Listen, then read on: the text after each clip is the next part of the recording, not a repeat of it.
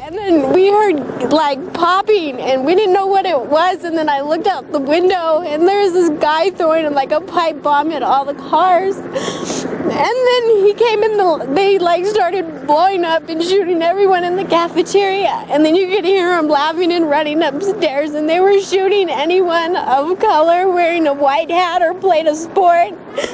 And they didn't care who it was, and it was all at close range. What did you see? You have blood on your hands. Uh, everyone around me got shot, and I begged him for 10 minutes not to shoot me. And he just put the gun in my face and started bleeding everywhere and started laughing, saying that it was all because people were mean to him last year.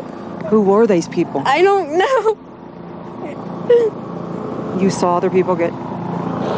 He did it right in front of us.